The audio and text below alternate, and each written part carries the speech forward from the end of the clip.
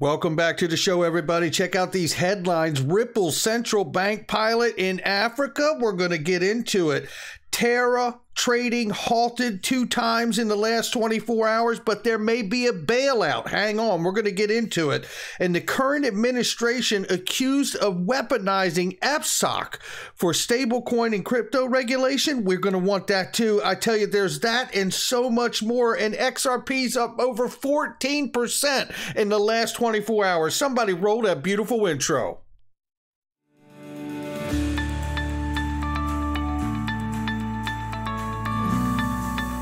Digital Perspectives with Brad Kimes. Come on in.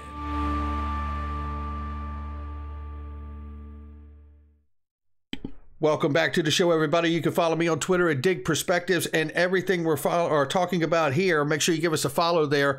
Facebook at Digital Perspectives News No Spaces and Digital Perspectives No Spaces on TikTok. It's growing like fire over there. I'm telling you, 1.36 trillion dollar market cap. Not a lot of money when we had three plus trillion for their all time high of crypto, but we're up eight and a half percent, ladies and gentlemen. Look at this. 30,000 plus for Bitcoin, 2,000 plus now for Ethereum, XRP 44 cents. We're up over 14% on the 24 hour. Whoa! Have we seen a turnaround? 37 cents on the bottom, 47 on the top. We are moving in the right direction, ladies and gentlemen. And speaking of the right direction, take a look at this. This is Steve and Joni Gulbranson with Nick Burafado from Linqto.com right here. They had a meetup down in Orlando and they all got together. What an incredible picture. Whoever took that picture, it's so in focus, it could be an NFT. It's just remarkable. And what a great looking group. So, look, this is amazing because obviously, you know, Linqto, you can get private equity to Ripple, Uphold, Linqto itself, BitPay, Dapper Labs, you name it. But Ripple's running another special and they're continue, or Linqto's running another special for Ripple it's being continued. You want to find out what that price is, you better go download the app. And if you're not accredited, download the app anyway because there's so many data points of information of blockchain and fintech companies that you get for free, even if you're not accredited just yet. And if this market keeps going the way it's going, you will be soon. All right, let's talk about this right now. This is uh, Terra. It says it has halted blockchain for the second time in 24 hours. By the way, all the links underneath the video right here. A second time halt of terra for 24 hours right now. But you know what? It may get better ladies and gentlemen and i know things are absolutely horrible. And i tell you shame on anybody making fun of somebody who's lost money like this. You know this is just horrible. It really is. But you do have to wonder the big investors the big vcs when did they sell their luna? Or did they even right Galaxy Digital, we see Mike Novogratz in here. We know early investor in Ethereum. We know he's always confused about what Ripple and XRP is, but he never seems to be confused about projects that are on Ethereum, though, right? So, pretty interesting question right there. We will see if Mike actually answers and responds to everybody on crypto Twitter.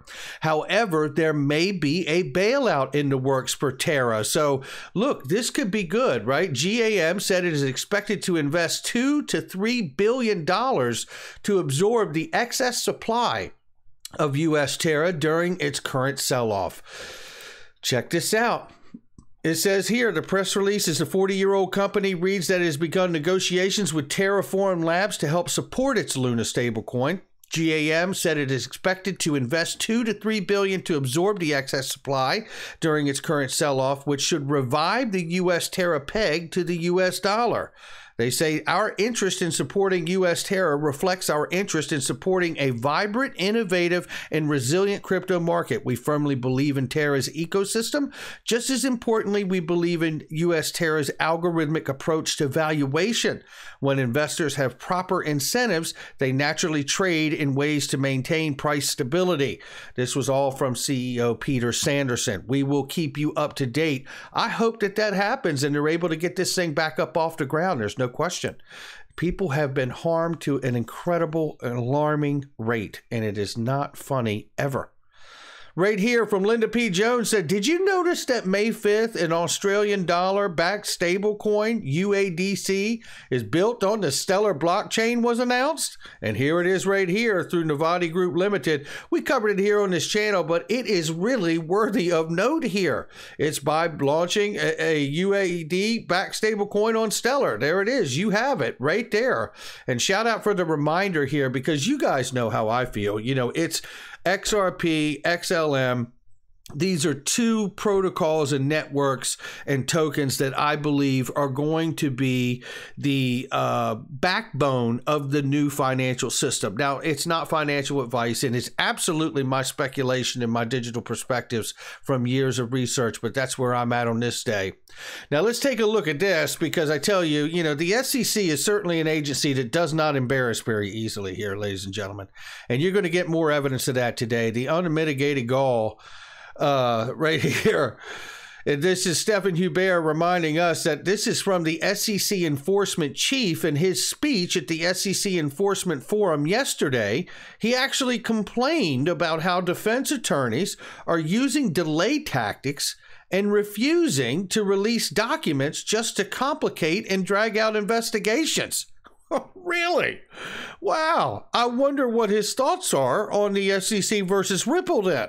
He must really be appalled by his own agency and the way they've done nothing but delay the case since they brought it against Ripple almost two years ago in December. Now let's get into this. This is very, very important, ladies and gentlemen. And I tell you, we have to watch all of this going forward because, for one, you're going to see a central bank Ripple pilot news happening in Africa, and it is massive. And also, more news to go along with that. But also, we're going to talk about what we've been following, certainly since going back to February of this year with Senator Elizabeth Warren. If you remember, I said that what Senator Elizabeth Warren was doing back when she grilled the, uh, uh, what was it here? Uh, let me get this right for us here.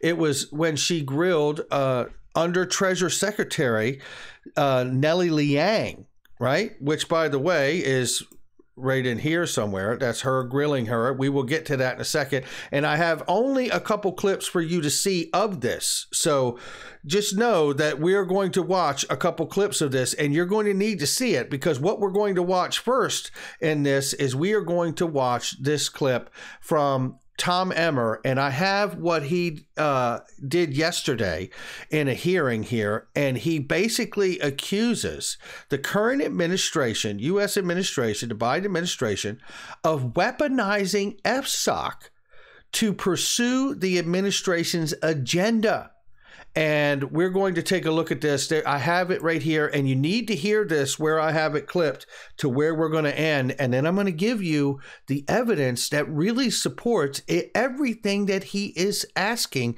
Janet Yellen here, and some contradicting contradicting video for you as well. Take a quick listen.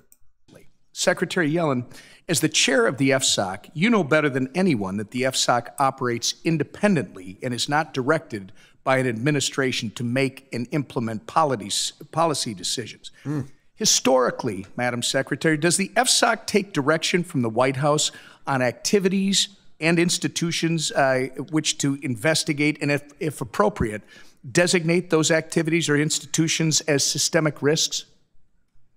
The FSOC, as you said, is a group of independent it, My question is a yes or a no. Does the FSOC take direction from the White House? No, it does not. Thank you. That's what I thought. The mm. FSOC exists to independently identify emerging threats to our financial stability and align regulatory frameworks around those risks. Secretary Yellen, by executive order, you convened the President's Working Group on Financial Markets in July of 2021, and you played a key role in the delivery of its November 2021 stablecoin report. The report recommends that Congress enact legislation to limit stablecoin issuance to insured depository institutions, banks. For the record, this is a recommendation that does not have consensus in Congress, not even amongst committee Democrats. The report also states that in the absence of urgent congressional action to enact this legislative recommendation, the FSOC should step in to designate various stablecoin activities as systemic risks which would jumpstart administration wide regulatory rulemaking. Listen. Secretary Yellen, has the FSOC officially designated digital asset or stablecoin activities as systemic risks? No, it has not done so. Thank you. No, it has not done so. Uh oh. Uh oh. Take a listen. I think that simply illustrates that this is a rapidly growing uh, product and um, that there there are risks to financial stability, and we need Up, there's risk to financial stability, which does make it, in fact, a systemic risk. But we're not done. Keep listening. Need a framework that's that's appropriate. It- it just This is under Treasury Secretary uh, for the U.S. Treasury, working directly underneath Janet Yellen, being pinned to the wall by Elizabeth Warren for the purposes of the Biden administration's objective to absolutely weaponize FSOC so they don't have to do their job, which is exactly what I told you when I first covered this in February. We're over the target, ladies and gentlemen. Listen to this. Let me remind you what my question is. Oh, do please. Do they pose the threat of becoming a systemic risk? of becoming a systemic risk, yes. Yes, they Oh. do. Um, I agree.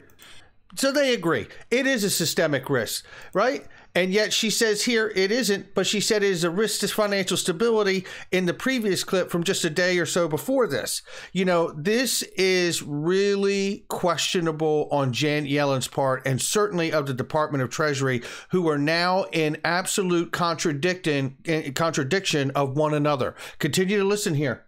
Thank you. Uh, digital asset and stablecoin activities have not been officially designated as systemic risks from the FSOC.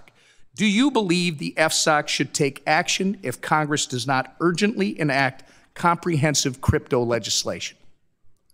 We would very much like to see Congress adopt a coherent. I'll, I'll ask it again. I'm asking. framework. I'm asking It's something you, we you would look who at. convenes the FSOC. It's- do you something- believe that the FSOC should take action if Congress does not urgently enact comprehensive crypto legislation?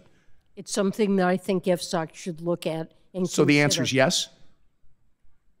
I, I don't know that it's uh, appropriate, but it's so- something that bears, right. Well, bears examination. Thank you. You previously explained to us that the FSOC operates independently and does not take direction from the White House on labeling systemic risks.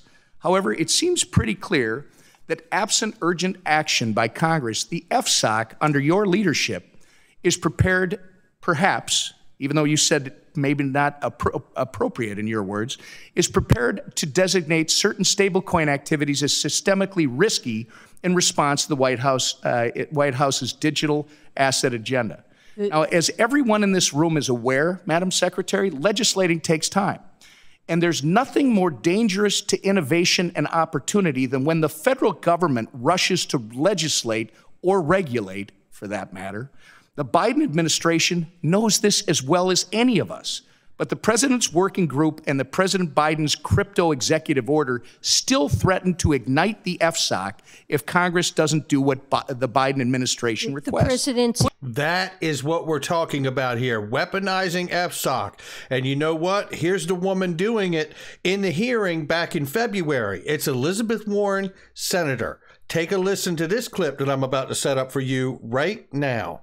And um, so, how different tools would apply is a bit difficult to prejudge how they would be used. Okay, okay. But But, you would- are willing to use them ahead of Congress. If that is the case and it is assessed that they are a systemic risk that needs to be addressed. Well, not that And they I are a systemic risk. Remember what it says on the website before that risk has reached fruition. There it is, right there, ladies and gentlemen. That's her telling her no before it becomes a risk and reaches fruition, right? Which is, again, I said this in February. I said it just a couple days ago.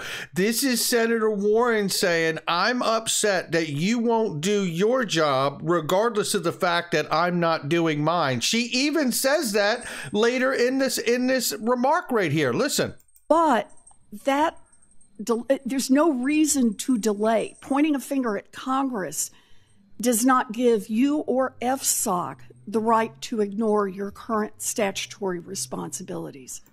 Uh, they- this is exactly what Tom Emmer is mad about is the fact that he feels like because FSOC is supposed to be an independent group, an agency, the why are they taking direction from the current administration and being pushed into doing this? You know, and then you have the contradictions between Nellie Liang and Janet Yellen herself saying it is financial stability risk, which is a systemic risk, and Nellie Liang actually saying she agrees with Elizabeth Warren that it is a systemic risk. I tell you, the politics in this are disgusting because while all of this is happening, just look at the example of Luna and Terra and what has happened to the investors there while they posture and just try to figure out ways that they can not serve the people they are actually elected to protect and appointed to protect. All right, let's move on because we actually have some good news here, which is going to feel refreshing, right? And again, reminder if you're accredited, you're not accredited, go join Linqto. Ripple shares available right now, and it is at a very, very discounted price. Make sure you don't mess around and get on that right here. And join if you're not accredited. So look, this is where we start with Leonidas right here. Shout out to him. This is James Wallis from Ripple. And listen what he's saying in this is an African workshop, and he talks about customers now moving towards using crypto for cross-border payments. Take a quick listen here you know, I've been with Ripple for three years, and you know, we, we have something called RippleNet, which is a cross-border payments network. Um, we're also working on other initiatives. We have a central bank digital currency solution. But in terms of the, of the use of crypto, um, XRP, which is the, the, crypto that we tend to use, uh, is used on a regular basis, and there's you know billions of dollars being tra transacted the whole time using that as a as a what we call a bridge currency. So between one one you know fiat currency and another, um, the the network uh, enables connectivity fiat to fiat, but also increasingly, and I would say the majority of our customers now are moving towards um, using crypto for cross border. It's cheaper, it's faster. There's no need to pre-fund accounts like you have in the you know, traditional correspondent banking model. Exactly. Now let's take a listen to this because this is where it gets really spicy. And he talks about the pilot that's happening. And I believe he says Nigeria with the central bank. Take a listen. I think central bank digital money will definitely happen. I mean, it's already happening. Congratulations to Nigeria and, and a few other countries. Uh, we're working on projects that are pilots prior to going live, so not proof of concepts. I think proof of concepts is should be a thing of the past now. Mm. And the big question really question. Yeah, that's incredible. So Nigeria and a couple other countries, and a proof of concept is a thing of the past now. We're piloting before going live. This is amazing, is right from Ratha Conman right there. And then listen to this because they're also working on building a peer-to-peer lending platform in the Republic of Palau, where we already know they're working with the central bank there. Take a listen um, sort of retail uh, CBDCs. I don't think it's all. It's not just about payments either. Uh, one of the things, um, you know, we're working with a country called Palau, which is a very tiny country in the, in the Pacific Ocean. Um, they're a dollarized country. They don't have, um, therefore, a central bank, but they wanted to have their own currency for a whole series of different use cases. Um, so we're working with them to, to issue what I think will be the first government issued and regulated stablecoin. Um, and they've got some really interesting use cases around that. Now, you could argue that, you know, you could do that within a different form, but digital money allows you to do things like this, this P2P lending platform they're looking at. So one of the cultural things in that country is, you know, when it's payday on a Friday, people, take, people line up around the corner to get money out of the cash out of the ATM, and then they, uh, they have a culture of um, lending money to friends and family for all sorts of different reasons. So they go and they drive to the next sort of town and they lend some cash. And so one of the things that they want us to build with them is a, a P2P lending platform. Right? So it's a very simple DeFi, distributed finance application that leverages a digital currency. So in that case, it will be a stable coin. But um, so I think the, the, the, the so you, you, can definitely pay for your coffee here, right, and, or anywhere around the world, but I think I'd like to think about this as a platform for new innovation as opposed to necessarily fixing the past. And that's what we're talking about here. It is very exciting. Look, central bank in Africa, pilot test soon to launch, other countries as well. Now you have a peer to peer lending platform. Don't forget that it's going to be the first government backed stable coin and we've just come off of all of this collapse and run on uh, Terra Luna. You know, this is exciting to me, and the market is now, or XRP is certainly up 14.4% this morning, and the market itself up 8.5%.